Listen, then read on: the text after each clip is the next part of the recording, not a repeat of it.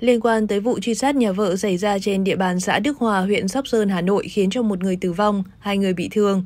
Mới đây, cơ quan công an đã bắt giữ được đối tượng gây án.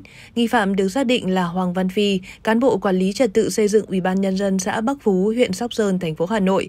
Và tại cơ quan chức năng, đối tượng cũng đã có lời khai ban đầu về nguyên nhân truy sát nhà vợ.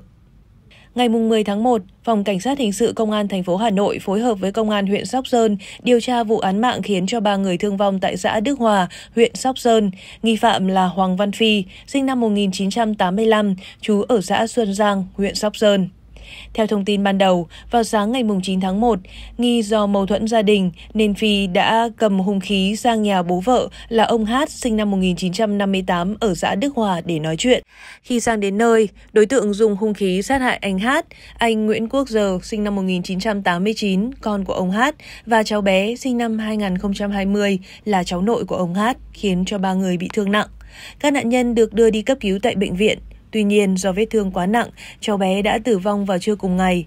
Theo lời khai của nghi phạm, từ đầu năm 2021, Phi thường xuyên mâu thuẫn cãi nhau với vợ.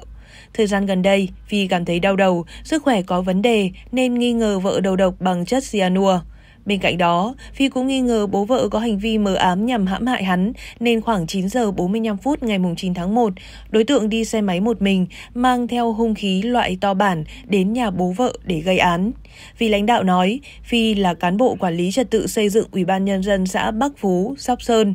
Đối tượng khai nghi bố vợ lấy một số hồ sơ liên quan tới mảng công việc nên nảy sinh ý định trả thù. Vị này cũng cho biết, theo thông tin nắm bắt được, Phi có tờ đơn xin nghỉ công tác nhưng cơ quan chưa xét duyệt. Vụ việc đang được điều tra làm rõ. Chỉ vì nghi ngờ vợ đầu độc mình mà Phi đã nhẫn tâm truy sát nhà vợ, khiến cho ba người thương vong và để rồi giờ đây phải đối diện với vòng lao lý. Hy vọng cơ quan chức năng sẽ có bản án thích đáng và nghiêm khắc dành cho kẻ này để làm gương và kịp thời giáo dục gian đe và phòng ngừa tội phạm chung. Những thông tin mới nhất liên quan tới vụ việc sẽ được chúng tôi liên tục cập nhật trong những video tiếp theo.